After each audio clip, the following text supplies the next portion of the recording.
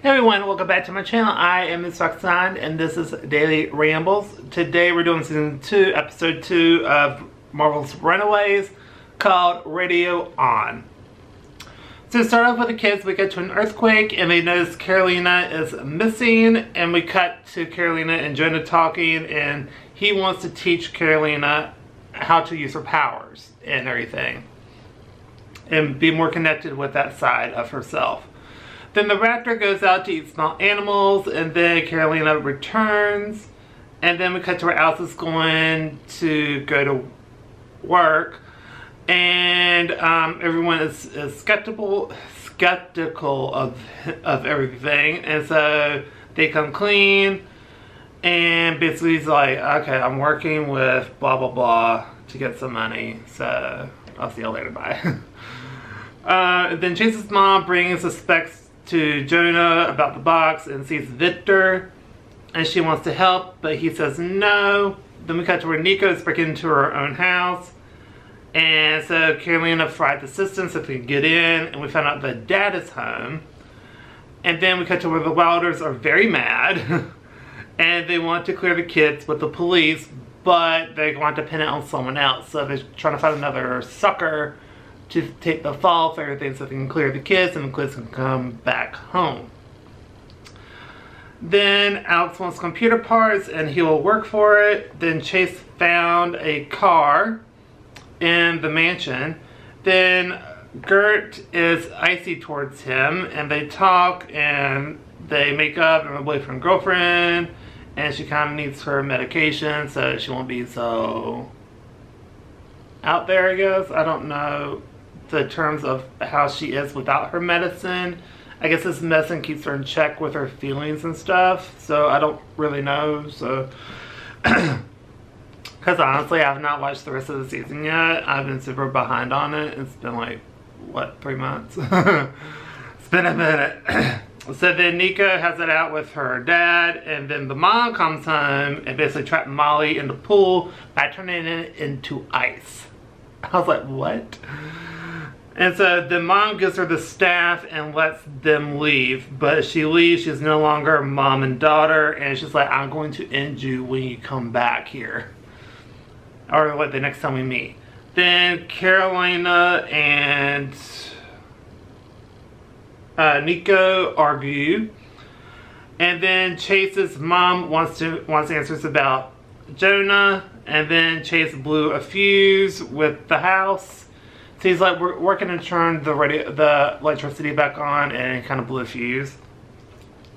Then we have Alex eating at the guy's house and basically gives them gives them money, then talks to the girl and helps with this hair.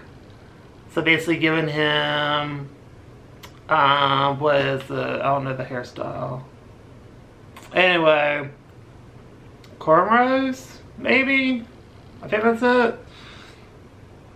If I'm wrong, please let me know in the comment section down below because I don't know.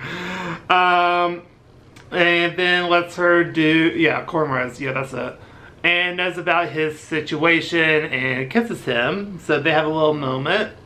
And then the guy comes in the house and uh, Gert's, uh, so radio, so basically when Chase blew the fuse, the electricity people, the electricians, come in and they, you know, they come in trying to uh, check the situation and so Gert sends the raptor after them and so they run flying away from the house.